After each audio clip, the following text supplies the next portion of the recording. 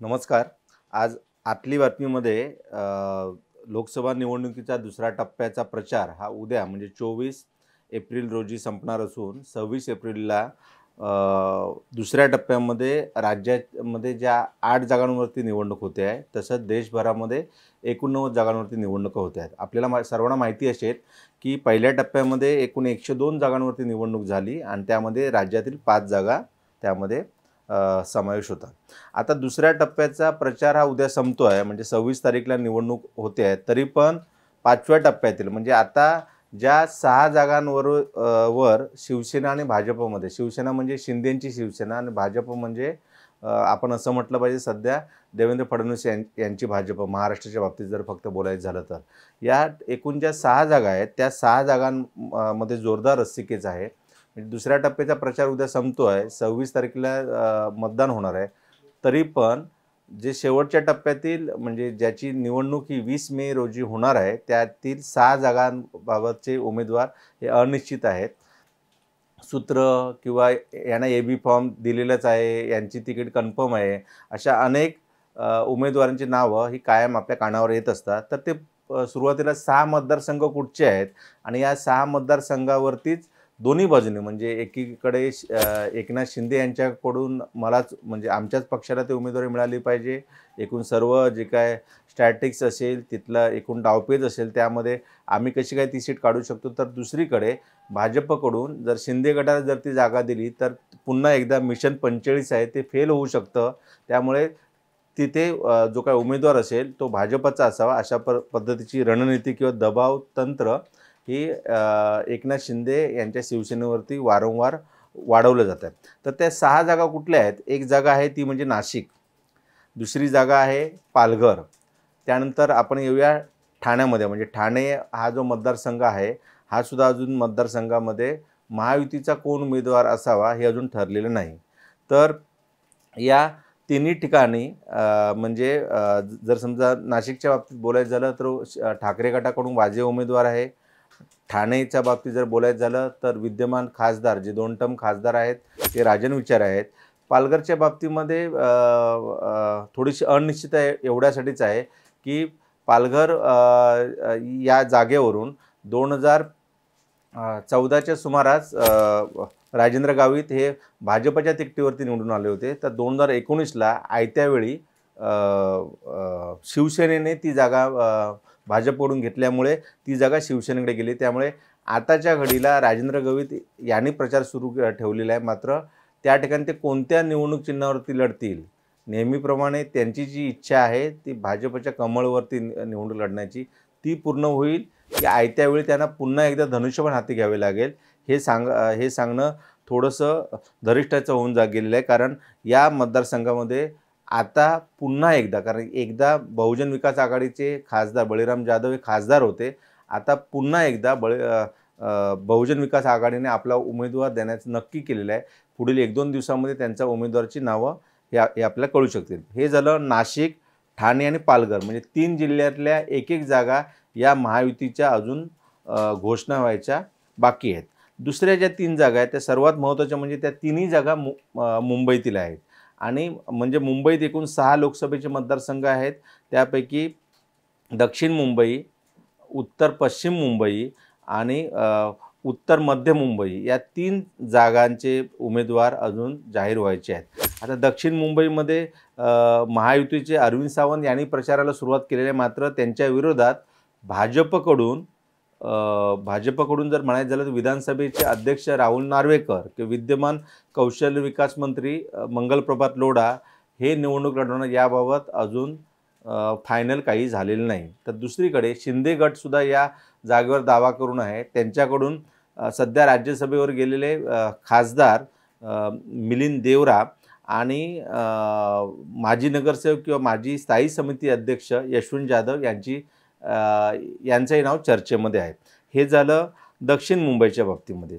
आता उत्तर पश्चिम या मतदारसंघामध्ये ठाकरे गटाकडून अमोल कीर्तिकर यांना उमेदवारी दिलेली आहे.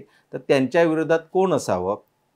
याबाबत अजून अंतिम निर्णय झालेले नाहीत. आपल्याला जी माहिती मिळते आहे त्यानुसार शिवसेनेतून शिंदे गटात गेलेले आमदार रवींद्र वायकर यांचे नाव जवळपास निश्चित झालेलं आहे. आणि त्यांना ए बी फॉर्मसुद्धा देण्यात आलेल्याची माहिती आपल्याला मिळते आहे. मात्र याच मतदारसंघातून दोन दिवसापूर्वी उदय सामंत यांनी संजय निरुपम यांची भेट घेतली होती. आता एक गोष्ट आपण लक्षात घेतली पाहिजे की संजय निरुपम यांना अमोल कीर्तिकर जे आता उबाटाचे उमेदवार आहेत त्यांचे वडील गजानन कीर्तिकर यांनी दोन वेळा धूळ चारली होती आणि संजय निरुपम हे सातत्याने काँग्रेसमध्ये राहूनही त्यांनी महाविकास आघाडीच्या विरोधात भूमिका घेतली होती किंवा शिवसेनेच्या विरोधात म्हणजे उद्धव बाळासाहेब ठाकरे या पक्षाच्या विरोधात भूमिका घेतल्यामुळे त्यांची काँग्रेसमधून त्यांची हकालपट्टी करण्यात आलेली आहे. त्यामुळे या मतदारसंघातून अनेक नावं काही ठिकाणी ॲक्टर्सची नावं घेतली जात आहे त्यामुळे त्यापेक्षा रवींद्र वायकर हेच ती जी सीट जी आहे जी कीर्तिकरांची दोन टर्म खासदार असलेली जी सीट आहे ती पुन्हा एकदा रवींद्र वायकर आपल्याकडे ठेवतील असा विश्वास शिंदे यांना वाटत असल्यामुळे सुरुवातीच्या वेळी रवींद्र वायकर यांनी या सर्व सर्वांना नकार दर्शवला होता. मात्र काल सोमवारी उशिरा रात्री ठाण्याच्या मुख्यमंत्र्यांच्या बंगल्यावर त्यांची जी बैठक झाली त्या बैठकीमध्ये रवींद्र वायकर यांच्या उमेदवारीवर ग्रीन सिग्नल झाल्या दिल्यामुळे आता अमोल कीर्तिकर विरोधात रवींद्र वायकर अशी लढत होण्याची शक्यता आहे. याचं कारण शक्यता आपण एवढ्यासाठीच म्हणतो की अजून अधिकृत उमेदवारी जाहीर झालेली नाही. अजून एक जो तिसरा सर्वात महत्त्वाचा मतदारसंघ आहे उत्तर मध्य जेथून पूनम महाजन या दोन टर्मच्या खासदार आहेत. आता एक गोष्ट लक्षात घेतली पाहिजे की महाजन आणि भाजप या या दोन्ही शब्दाला खूप अर्थ आहे आणि त्या दोघं दोन्ही शब्दाचे एक एकमेक पूरक असे संबंध आहेत.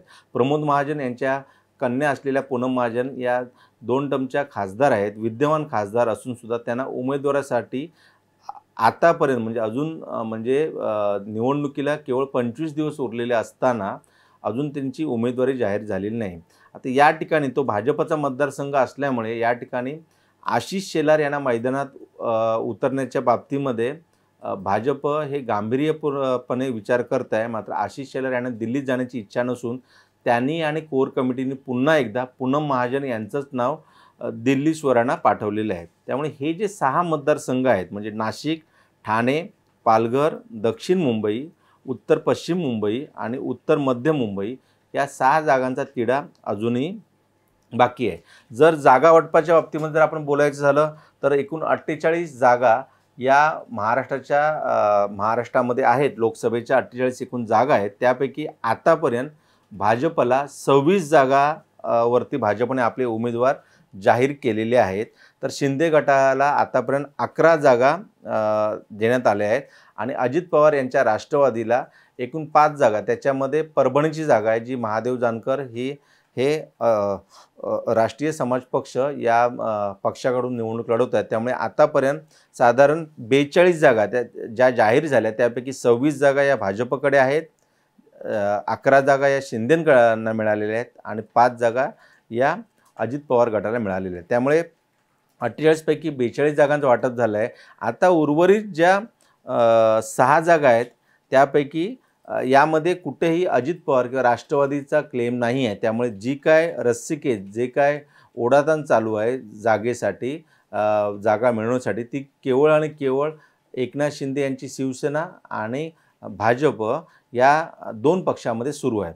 त्या त्यामुळे जर भाजपला जर या सहा जागांपैकी उर्वरित ज्या सहा जागा आहेत मी पुन्हा एकदा सांगतो ज्या सहा जागा आहेत त्यापैकी नाशिक ठाणे पालघर दक्षिण मुंबई उत्तर पश्चिम मुंबई आणि उत्तर मध्य मुंबई या सहा जागांपैकी भाजपचा क्लेम असलेल्या ज्या जागा आहेत त्यापैकी एक उत्तर मध्य जेथून पूनम महाजन खासदार आहेत.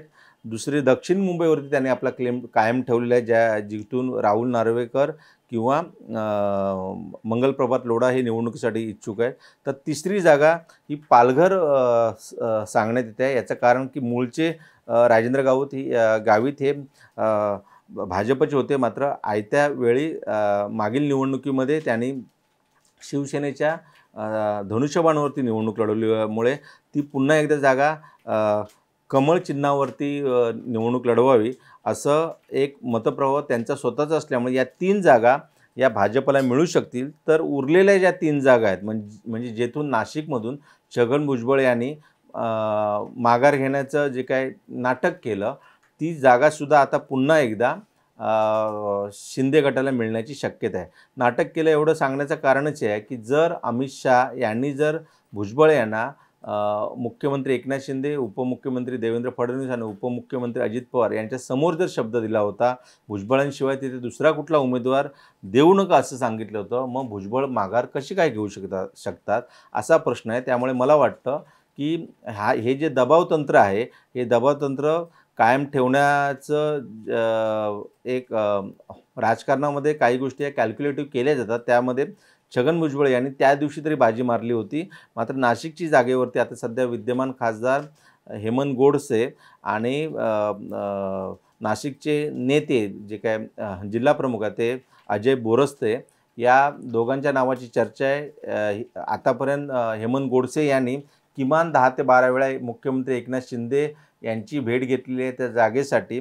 एक गोष्ट आपण दर्शकांना सांगितली पाहिजे की ज्यावेळी चाळीस आमदार हे शिं ठाकरे यांच्याकडून ज्यावेळी शिंदे यांच्यासोबत बाहेर पडले त्यावेळी आमदारांमधून जे काही जमवाजमव चालू होती म्हणजे हे स्वतः तानाजी सावंत यांनी जाहीरपणे सांगितलेलं आहे. त्यामध्ये आघाडी ही तानाजी सावंत असतील किंवा संजय शिरसाट यांनी घेतली होती.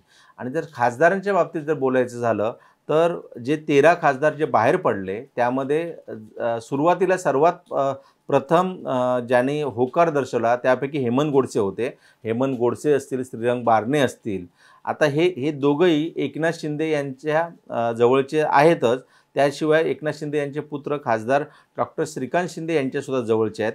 त्यामुळे हेमंत गोडसे यांना उमेदवारी मिळण्याबाबत एक महिन्यापूर्वीच श्रीकांत शिंदे यांनी नाशिकमध्ये घोषणा केल्यानंतर हा या जागेचा तिढा थोडासा वाढलेला होता.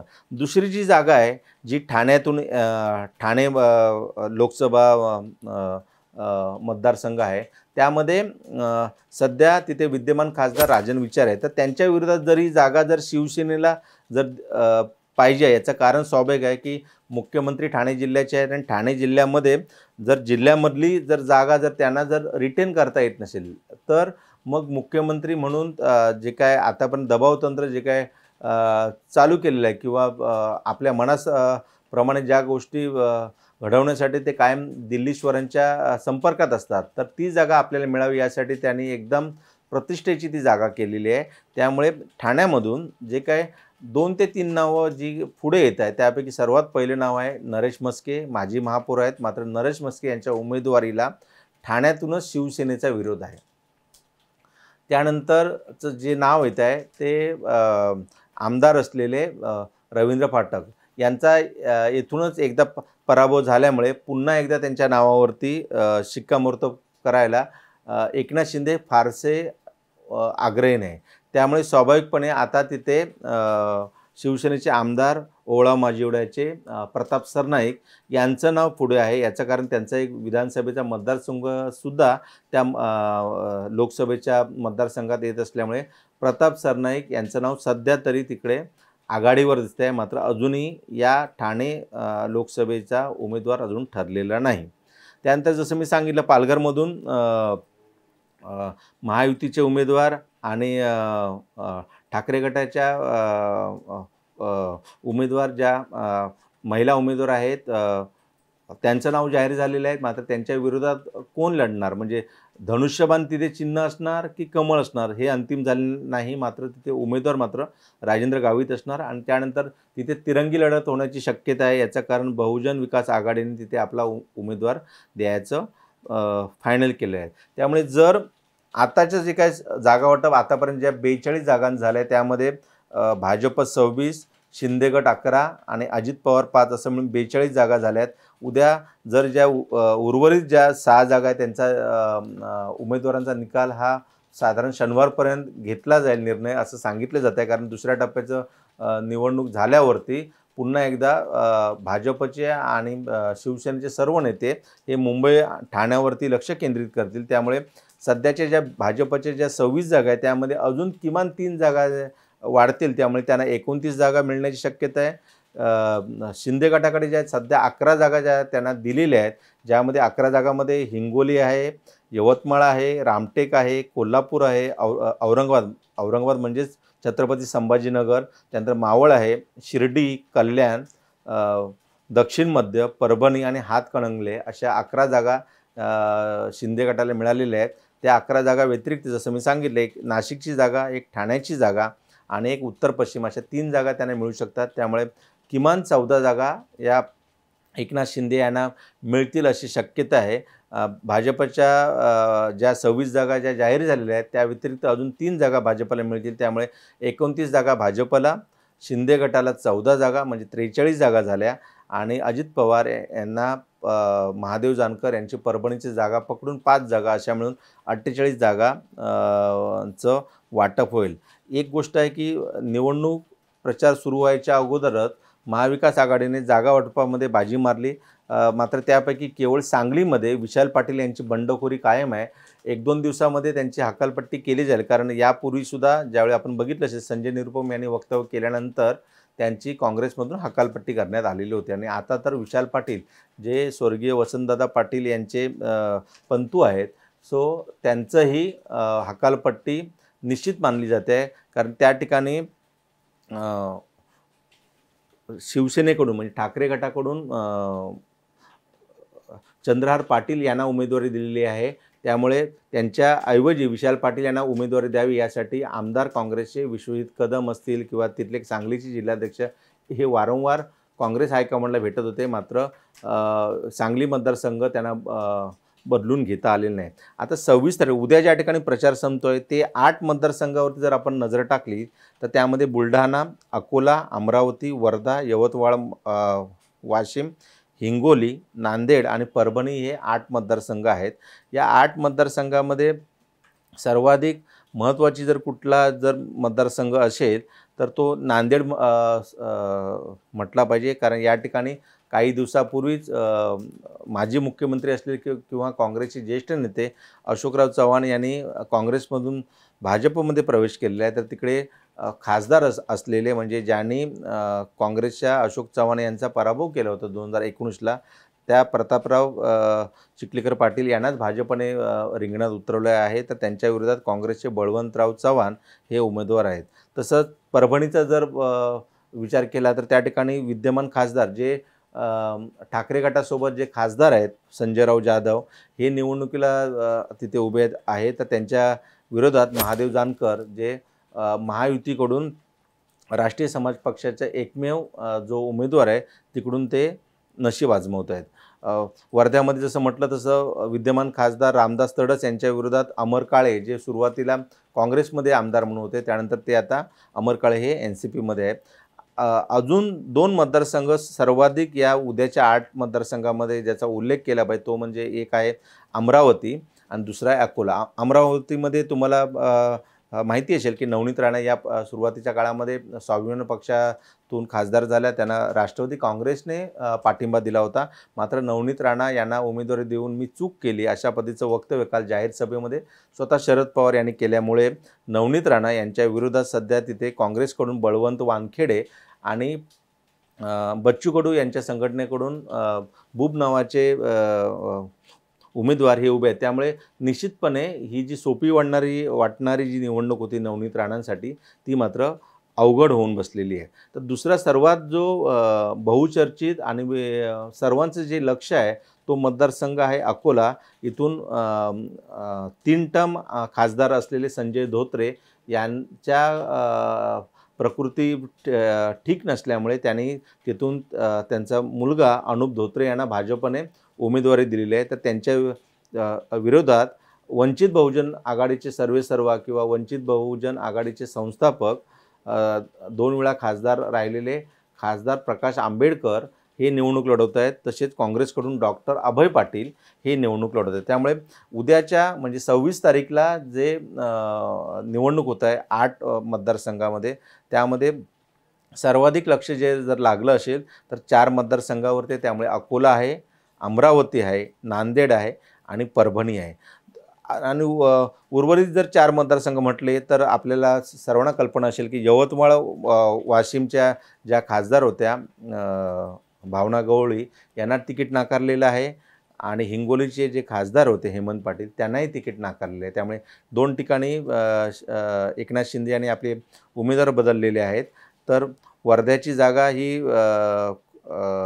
एन सी बीकडे गेलेली आहे. त्यामुळे तिथे अमर काळे तर बुलढाण्यामध्ये प्रतापराव जाधव यांच्या विरोधात जिल्हाप्रमुख असलेले नरेंद्र खेडेकर ठाकरे गटाकडून आपलं नशीब आजमवत आहेत. त्यामुळे आज अनुप धोत्रेंसाठी अकोल्यामध्ये अमित शहा यांची मोठी प्रचारसभा होते. आहे त्यामुळे महाराष्ट्रामधील पहिल्या टप्प्यामध्ये नरेंद्र मोदी असतील अमित शहा यांनी ज्या पाच मतदारसंघ झाले त्या ठिकाणी तीन सभा केल्या. आता दुसऱ्या टप्प्यामध्ये सुद्धा उद्या प्रचार संपतो आहे नरेंद्र मोदी काल दोन दिवसापूर्वी नांदेडला होते. आज अमित शहा अकोलेला आहेत. यापूर्वीसुद्धा मुख्यमंत्री किंवा देवेंद्र फडणवीस यांनी ऑलरेडी तिकडे प्रचार केलेला आहे. मात्र एक गोष्ट यातून एक लक्षात येते आहे की जो पहिल्या टप्प्याची निवडणूक जी एकशे दोन देशातील एकशे दोन मतदारसंघासाठी झाली ती तेवढी सोपी वाटणारी निवडणूक भाजपसाठी सोपी नाही.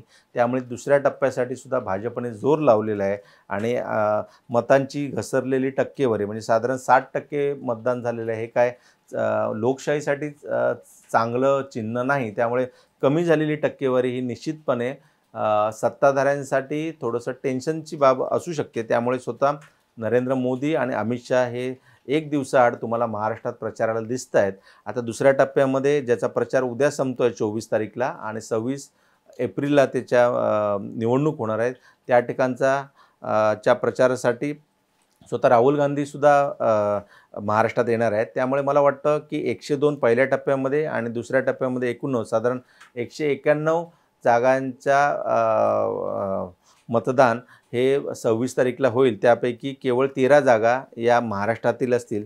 त्यामुळे उर्वरित तीन टप्पे म्हणजे एक त्यानंतर होणारा सात मे त्यानंतर होणारा तेरा मे आणि नाशिक मुंबई ठाणे पालघर या साधारण सहा जिल्ह्यांची निवडणूक ही शेवटच्या टप्प्यामध्ये महाराष्ट्रामध्ये वीस मेला होणार आहेत.